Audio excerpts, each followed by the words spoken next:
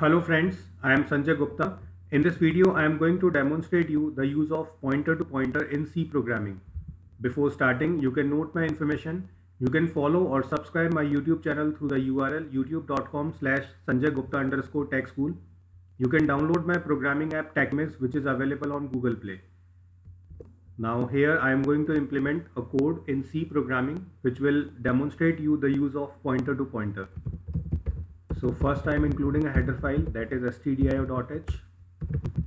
Now I am defining a main function. Inside main function I am declaring a variable a whose value is 5. Then I am declaring a pointer and then pointer to pointer.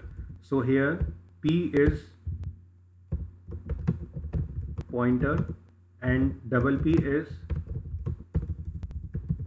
pointer to pointer.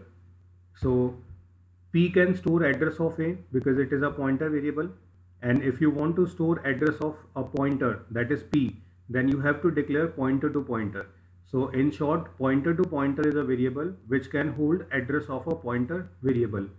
So in this code three variables are declared a p and double p. A is a normal variable p is a pointer and double p is a pointer to pointer. So now i can write p equals to address of a so P is a pointer that's why it can hold address of A. Second statement is double P equals to address of P. So here pointer to pointer is storing address of P and P is a pointer. So now the situation is value of A is 5 and address of A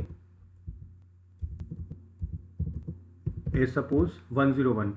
So I have assumed that address of a is 101 it is not exact address. I have just assumed this address.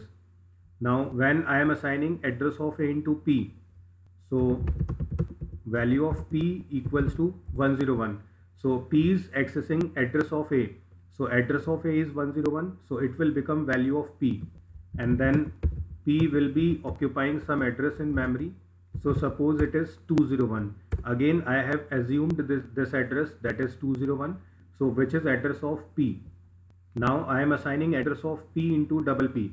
So value of double P equals to 201 which is address of P. So address of P is now value of double P that is pointer to pointer and address of double P may be anything like it is 301. So after these three statements this hierarchy or this scenario will be available inside memory now I want to print 5 through A, through P and through double P. So for that purpose I am using a single printf statement where I am writing percent %d three times and I am using A then asterisk P and then double asterisk double P and then return 0. So now you have to understand how 5 will be printed through these three notations so uh, as a is a normal variable, so value of a is 5, so this a will print 5 normally. Now asterisk p, so this asterisk means value at address. So this is a dereferencing operator which provides value uh, value that is available at a particular address.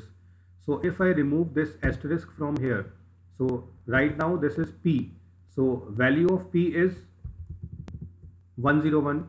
So value of P is 101. Now if I write asterisk P, so asterisk means value at address. So P is containing 101 and now we have to identify its value. So it will become asterisk 101. So here I can say asterisk P equals to asterisk 101. This asterisk p will be equals to asterisk 101 and asterisk means value at address. So value at 101. Now see what is the value of 101 address that is 5. So this way asterisk p will be printing 5 on console. Now double asterisk and double p. So here dereferencing operator is used twice. So asterisk asterisk double p. So we can write it like this asterisk. So double P. So if I remove these two asterisk signs, so double P is you uh, having value 201. So initially it is having 201. So first time double P is representing 201. Now I am placing only one asterisk. So it means value at address. So now we have to find out the value of 201. So at the address 201 value is 101. So if I write only one asterisk so it means value at 201 that is 101 now again I have to use dereferencing operator so this will dereference 101 so now we have to identify a value at 101 that is 5 so this double asterisk double p will be converted into the notation like this asterisk bracket asterisk and then 201 so first 201 will be dereferenced so it will provide 101 and then 101 will be dereferenced. So it will provide 5. So I hope you have understood how we can identify 5 through A, through asterisk P and through double asterisk double P. So variable, pointer and pointer to pointer. All three variables are printing 5 on console. Now I am going to execute this code. So I am making comment all these statements now I am going to execute this code. You can see the output. 3 times 5 is displayed on console. So here in this small demonstration I have demonstrated you the working of pointer as well as pointer to pointer. So if we want to assign address of a pointer variable then we use pointer to pointer. Now if you want to assign address of pointer to pointer then you can use pointer to pointer to pointer it means for that purpose you have to declare a variable like this. 3 times asterisk sign and then a variable.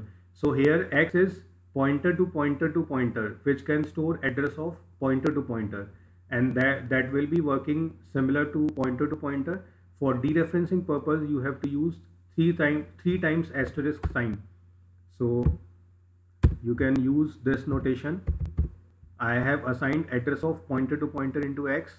Now I can print value through percent %d and here I am using 3 asterisk for dereferencing and then x.